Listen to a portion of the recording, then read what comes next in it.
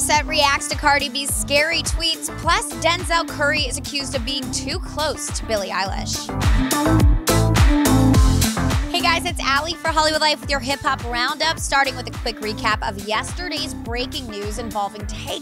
The sentencing phase in the rapper's trial for a 2016 robbery has concluded, and he has been sentenced to 55 years in prison and a $21,000 fine. Adding to this, the rapper is still facing charges related to two other incidents that took place after the home invasion. One where he's accused of robbing and murdering a 23 year old photographer, and another where he's accused of robbing a 65 year old man who testified against him on Monday. We'll keep you updated if any more information becomes available. Moving on to some lighter news for a second, because rumor has it that Rick Ross is becoming an industry peacemaker. The rapper's Port of Miami 2 is set to drop on August 9th, and writer Bonsu Thompson took to Twitter after a listening party to react to what he heard. In a now deleted tweet, Thompson wrote, Yeah, Port of Miami 2 is hands down one of Rick Ross's finest bodies of work front to back.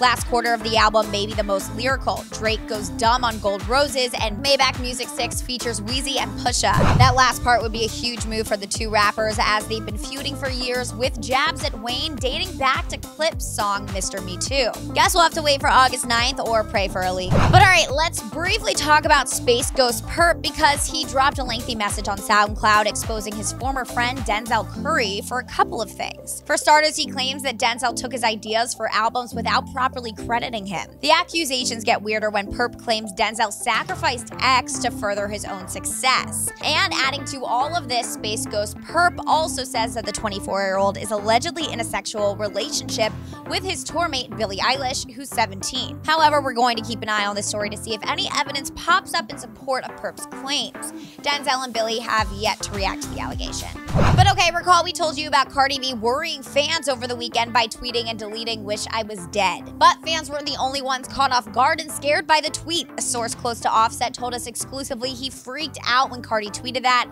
and called her right away to check in. Offset's in Europe right now and they are both missing each other really badly. So to make up for the time apart, we're told Cardi and Offset FaceTime multiple times a day, but it's really hard on both of them. Fortunately, Cardi is safe and regrets sharing that tweet. She just has low moments like everyone else. But alright, hit the sub, like, and bell button, comment your favorite Rick Ross album, and follow me on social media at Ali Stagnitta. Bye, guys.